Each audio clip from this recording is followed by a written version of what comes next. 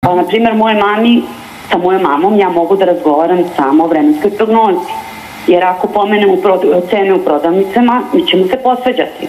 Ako pomenemo bilo šta od, od bilo kojeg ovog predloga, mi dolazimo do svađe. A moja ajmo, ajmo da ostanemo kod ove male svađe oko cena u prodavnici. Vi kažete šta, a mama kaže šta?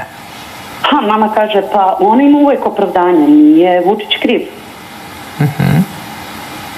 A šta će, a šta će se jesti? Pa ješće se nešto. Pa makar ta penzija bila i 11.000 dinara.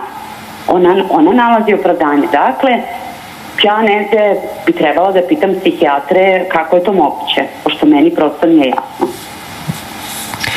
Dobro, hvala vam, laku noć.